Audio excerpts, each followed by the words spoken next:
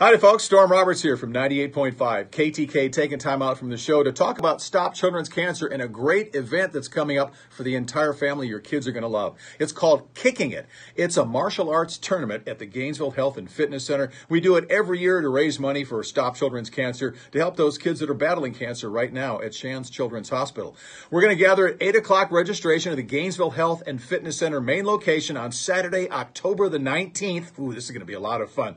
The opening ceremony ceremonies are at 10. Then the tournament begins. There's going to be a lot of fun. It's for kids of all ages, too. So come on out. Small registration fee. There's a great silent auction, and all that money goes to fund pediatric cancer research right at Shands Children's Hospital. So it's kids helping kids fight cancer. October the 19th, registration starts at 8, opening ceremonies at 10, right at the Gainesville Health and Fitness Center, Newberry Road location, you know, the main location. So we'll see you there. It's Kicking It. You can go to kickingitgainesville.com and find out more information. We'll see you there.